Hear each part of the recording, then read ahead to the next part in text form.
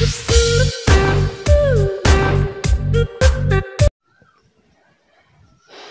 Friends मैं हूँ अब्दुल समद और आप देख रहे हैं study point YouTube channel. Study point YouTube channel में आपका स्वागत है और आज हम लोग बात करने वाले हैं एक्सरसाइज 8.2 का तीन नंबर क्वेश्चन से। तो चलिए देखते हैं तीन नंबर क्वेश्चन क्या है। तीन नंबर क्वेश्चन है, यदि टेन ए प्लस बी बराबर रूट तीन तथा टेन ए माइनस बी बराबर एक बटे रूट तीन तो ए और बी का ऐसा मान ज्ञात करना है कि ए और अगर बी को जोड़ देंगे तो ज़ीरो से बड़ा होगा और नब्बे से छोटा या नब्बे भी हो सकता है। आगे फिर कह रहा है कि ए और बी में ए का मान बड़ा हो और बी का मान छोटा हो। तो चलिए देखते हैं।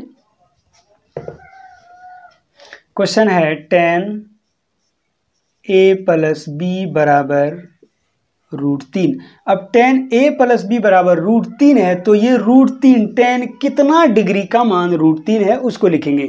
अब टेन में देखते हैं, ये टेन है और रूट तीन कहाँ यहाँ है तो टेन साठ डिग्री का मान रूट तीन होता है। तो हम इसको इस तरह लिख सकते हैं टेन ए प्लस बी बराबर रूट तीन के जगह टेन साठ डिग्री लिख सकते हैं। अब यहाँ टेन और टेन को काट देंगे। दोनों साइड अगर बराबर हो तो काट सकते हैं। तो यह बच गया ए प्लस बी बराबर साठ। इसको हम समीकरण एक लिख देंगे इक्वेशन वन आगे कह रहा है कि टेन ए माइनस बी बराबर एक बटे रूट तीन। अब यहाँ है टेन टेन लिख दिए। ए माइनस बी बराबर टेन कितना डिग्री का मान एक बटे रूट तीन होता है? तो ये टेन है और एक बटे रूट तीन यहाँ है। टेन तीस डिग्री का मान एक बटे रूट तीन होता है तो टेन एक बटे रूट तीन के जगह हम टेन तीस डिग्री रख देंगे तो यहाँ टेन तीस डिग्री रख दिए। अब इसको अगर इसके साथ काट देंगे तो यहाँ बच जाएगा ए माइनस बी बराबर तीस डिग्री। इसको लिखेंगे समीकरण दो। अब लिखेंगे समीकरण एक और दो से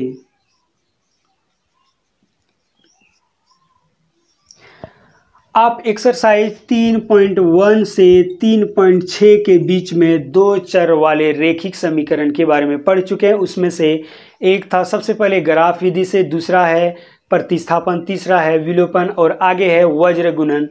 तो इसमें से हम इस जो, ये जो क्वेश्चन है, उसको हम विलोपन विधि से हल करेंगे। और ये विलोपन विधि प्रश्न वाले तीन दशमलव चार से तीन दशमलव छः के बीच में है, आप पढ़ चुके हैं। तो चलिए देखते हैं विलोपन विधि से कैसे इसको हल करते हैं। समीकरण एक और दो से तो दोनों को एक ही जगह लिखेंगे। ए प्लस बी बराबर साठ है और एक है ए माइनस बी बराबर तीस।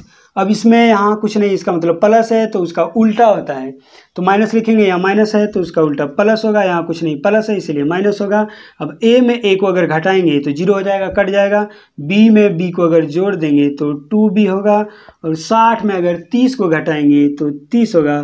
तो b बराबर करेंगे तीस बटे दो, इसको काट देंगे तो b बराबर हो जाएगा पंद्रह। अब यहाँ लिखेंगे b का मान एक में रखने पर, दो में भी रख सकते हैं, लेकिन नियम एक में है तो इसीलिए एक में रखेंगे, एक में रखने पर। अब समीकरण एक क्या है? समीकरण एक है, ए प्लस बी बराबर साठ तो यहाँ लिखेंगे ए प्लस बी बराबर साठ। ए ए लिख दिए प्लस बी बी का मान पंद्रह है, यहाँ पंद्रह लिख दिए, बराबर साठ डिग्री, यहाँ भी डिग्री लिख सकते हैं। अब ए बराबर साठ साठ लिख दिए, और यहाँ प्लस है तो उधर जाके माइनस हो जाएगा माइनस पंद्रह। तो ए बराबर इसमें से इसको घटाएँगे, पैंतालीस होगा, यहाँ भी डिग्री लिख देंगे, यहाँ भी डिग्री। तो ए का मान पैंतालीस होगा, और बी का मान पंद्रह होगा। चलिए अब चार नंबर क्वेश्चन देखते हैं। चार नंबर में पाँच क्वेश्चन है, एक नंबर क्वेश्चन है, चार नंबर का कह रहा है साइन ए प्लस बी बराबर sine A plus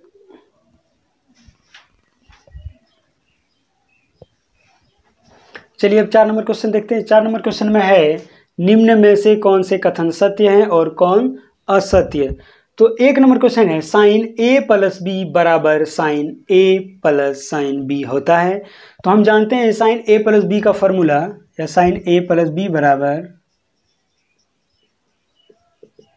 sine A cos B plus cos A sine B और यहाँ लिखा हुआ है कि साइन ए प्लस बी होता है, इसीलिए ये गलत है।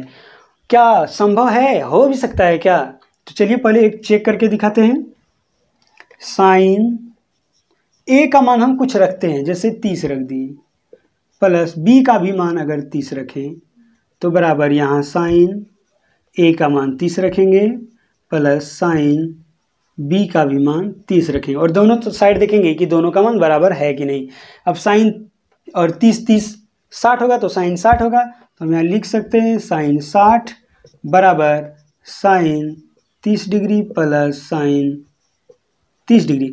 अब साइन साठ डिग्री का मान रूट तीन बटे दो होता है, बराबर।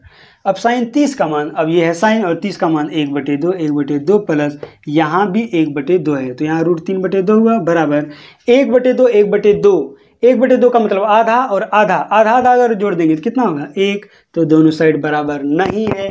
इसीलिए साइन ए प्लस बी बराबर sine A plus sine B नहीं हो सकता। इसका formula sine A plus B का है। Sine A cos B plus cos A sine B होता है।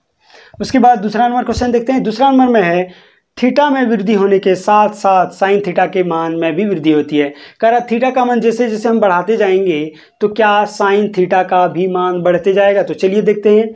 ये है थीटा का मान ज़ीरो तीस, पैंतालीस, साठ, नब्बे।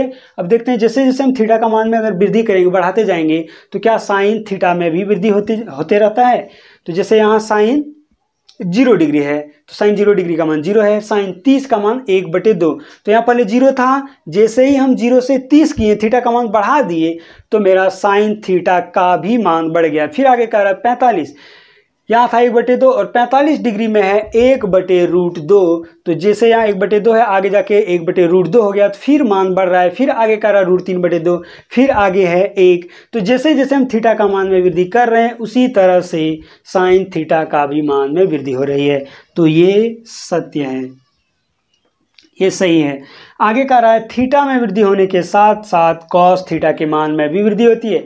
और यहाँ हम सारणी से जान रहे हैं जैसे जैसे थीटा का मान में वृद्धि करते हैं, उस तरह से कॉस थीटा का मान में हास होता है, कमी होती है। इसीलिए ये गलत है।